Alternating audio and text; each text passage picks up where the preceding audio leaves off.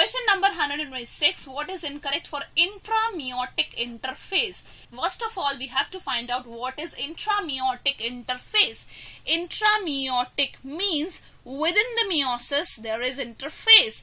So yes, between meiosis 1 and meiosis 2 there is a stage which is similar to interphase which is called the interkinesis or the intrameiotic interphase it is exactly to, similar to the interphase stage except that there is no replication of DNA in the interkinesis.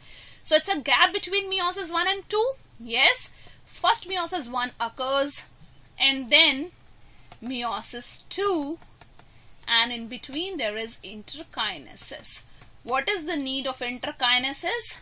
Because the before the division the cell has to prepare itself. The cell has to duplicate all its materials. Before meiosis 1 cell has already undergone the interphase where it has duplicated all its materials. Now after meiosis 1 it has formed two cells. They have to divide and form the four cells but they should have the double material which is formed in the interkinesis. So interkinesis is the preparatory phase for the meiosis 2 where these two daughter cells they duplicate their cell organelles and the other things to proceed to the meiosis 2 no replication of centriole paired in the animal cell no there is replication of centrioles in the interkinesis so this is incorrect it's a metabolic stage between telophase 1 and the prophase 2 yes there is no replication of DNA. We have already discussed. Yes. So the incorrect statement is the third one. So the correct option for the given question is option number 3. Let's move to the next question. Question number 127 which is not true for amitosis. Amitosis is seen in the bacteria majorly where there is no spindle formation. So yes, spindle formation occurs. No, nuclear envelope does not disappear. Yes, amitosis occurs within the nuclear membrane. There is no disappearance of the nuclear membrane.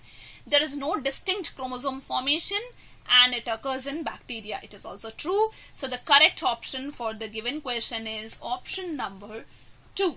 Let's move to the next question. Question number 128. Mitosis is significant for growth. Yes Healing and regeneration, repair and maintenance of the cell size. Yes, these all are the significances of the mitosis. So all A, B, C and D. So the correct option for the given question is option number 4.